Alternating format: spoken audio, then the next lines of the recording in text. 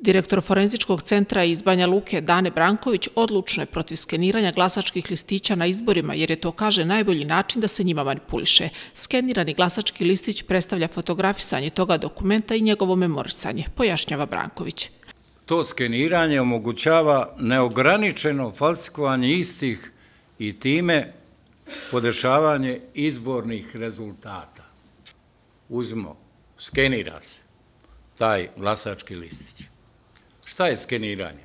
To je fotografisanje toga dokumenta i njegovo memorisanje u memoriji centralne jedinice.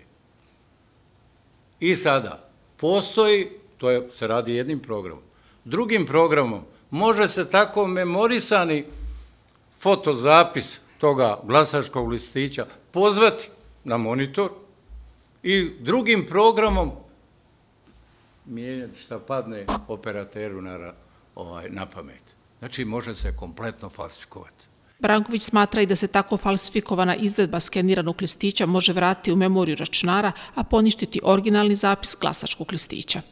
I sada može da se u koloru, dobrom rezolucijom, kolor štampač i da se faktički reproducira, a zbog neusavršenosti ljudskog oka, ta reprodukcija može falsifikovano da izgleda kao original.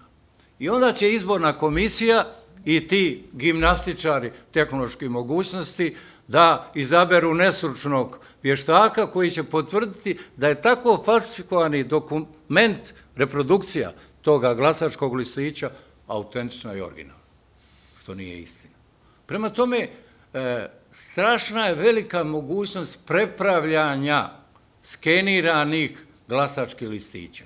On smatra i da skeniranje otiska prsta glasača na glasačkom mjestu ne bi bila pouzdana i kvalitetna mjera, navodeći da sve nabrojane izmjene omogućavaju, kako je rekao, dosta uspješan projektovani lažni izborni rezultat.